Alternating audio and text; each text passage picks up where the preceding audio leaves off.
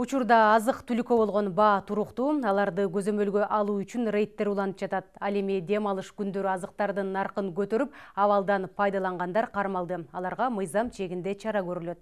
Кенен кийинки материалда эс алуу күндөрү азык түлүккө болгон суроо талап жогорулады. Мындан улам айрым продуктылардын баасы өскөн. Ал арада негизсиз баа көтөрүүлөр көзөмөлгө алынып жөнгө салынды. Абал туруктуу баардык азыктар өз наркында сатылып жатат. Өз орду менен баардыгы эле. Кечээки эки күндүн ичинде гана опур топур болуп берет аны бирөө эле бир паниковать этип бирдеке кылып эле чыгарып бербесе эле а так бүт эле орду орду менен эле турат да. Баасы көтөрүлгөн жок ушундай эле сатып алып атам баа өзүнүн мурдагы баасына келип калды стабилдешип эки күн мурда он төртү күн аябай абатаж болду да. Дүрбөлөңгө түшүп продукт айрым ишкерлер ортомчулар пайда табууда абалдан улам бааларды көтөрүп кырдаалды өз пайдасына курчуткандар жок эмес. Мындан улам монополияга каршы жөнгө салуу агенттиги тарабынан унга болгон нарктын туруктуу баасы коюлду. Эгерде андан кымбаттаса мыйзам чегинде чара көрүлөт. А эми ушул баадан ким ашырып сата турган болсо дагы эле ошол моундай аеосуз штрафтар салынат. Эң аз суммасы жеке баягы физикалык тараптарга миң сом юридикалык тараптарга беш миң сом.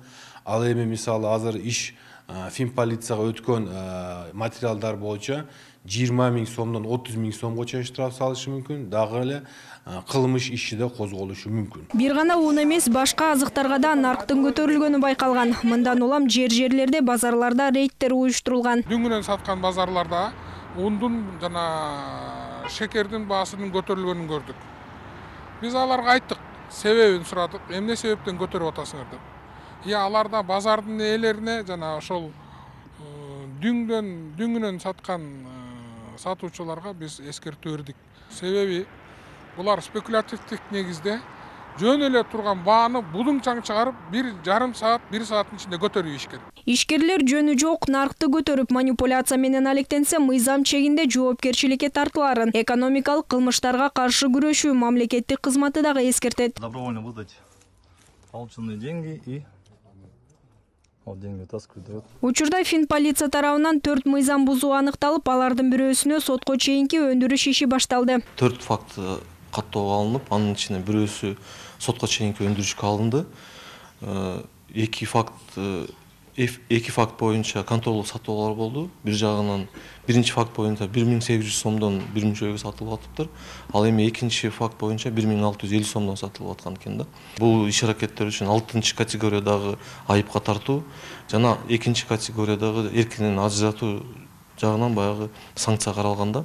Ал эми айыл чарба тамак аш өнөр жайы жана мелиорация министри кооптонууга негиз жок экенин билдирди. Өлкөдө азык түлүк жетиштүү деңгээлде. Өкмөттүн материалдык резервдер фондунда тиешелүү көлөмдө бар. Продукттан таңкыстык жаралбайт чек арадан азык түлүктөргө чектөө киргизилген эмес. Өкмөттүн алдында фонд бар. Ал матрезерв фонду. Ал жерде дагы тийиштүү деңгээлде көлөм бар. Андан сырткары унду карышетүүчү биздин ишканалар бар. Отуз эки анын туруктуу бүгүн он үчү иштеп атат ошол ишканалардын өзүндө дагы бүгүн буудай жана буудай уну макарондор мындай өзүнүн көлөмүндө турат андан сырткары жер жерлерде элдин колунда дагы анан торговый точкаларда да бир топ мындай көлөм бар да өкмөт бүгүнкү күндө андан сырткары дагы ушул фонд аркылуу жана биздин айыл чарбасын каржылоо сегизинчи долбоор аркылуу ундук каражат ишканаларга тийиштүү сумманы бөлүп ал жеңилдетилген кредит катары биздин ушул буудайды каражат эткен ишканалар сырттан ошол эле россиядан же болбосо казакстандан тийиштүү көлөмдө буудайды күндө алып келип атат. Баардык тиешелүү органдар жер жерлердеги бааны көзөмөлгө алуу үчүн жумушчу топторду түзгөн. Алар дүкөн жана базардагы баага күн сайын байкоо салышмакчы учурда рейдтер уланып жатат. Май май алтымыш үч сом кадимкидей эле чоң. Эгерде азыктардын наркын негизсиз жогорулаткан учурлар болсо ноль үч жүз он эки отуз эки отуз токсон бир жана отуз эки отуз жети ноль жети номуруна билдирсеңиздер болот. Ошондой эле бишкек шаардык мэриясынын фейсбук баракчасына билдирүү калтырууга мүмкүн. Мерим азимжанова чыңгыз талантбеков лтр бишкек